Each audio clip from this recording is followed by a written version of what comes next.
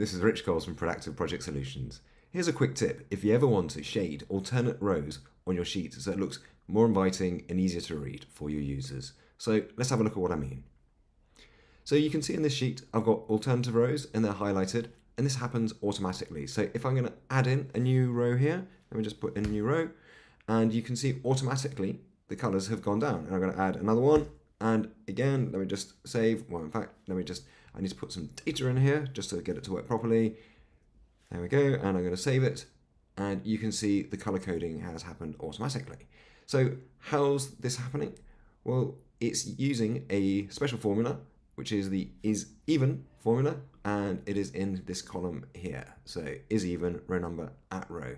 So let's just break this down so you know how this is working. So a couple of things here what you need is you do need to have a row number column and I've done a separate video on that bit and let me just show you the formula in here again so you can see. So zooming in. So you have a row ID column and based on that is looking at that and it's telling the relative position on the sheet in the row number.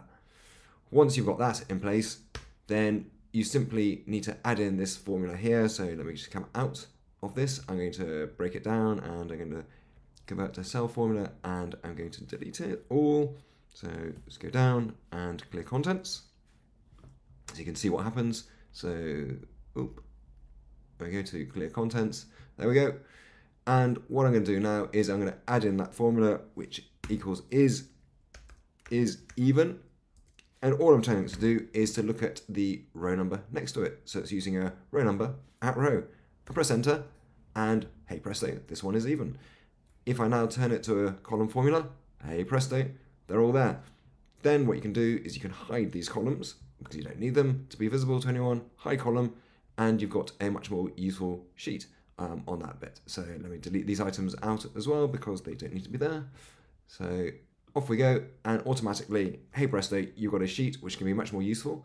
And if, for example, you download it into Excel, then this is what it looks like automatically. So in terms of the other side, what I've done is by having that checkbox here, so let me just come and unhide all columns again.